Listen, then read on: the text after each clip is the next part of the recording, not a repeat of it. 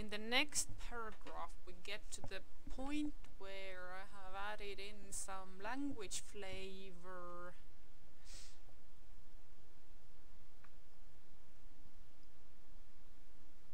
It's been a while, Rainy.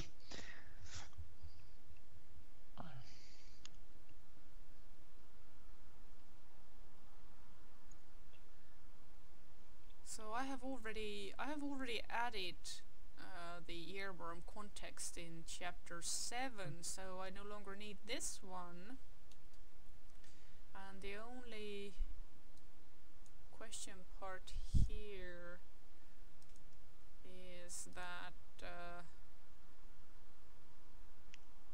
basically what I'm trying to say that his his standard was so standard that uh, that the translation protocols didn't didn't activate.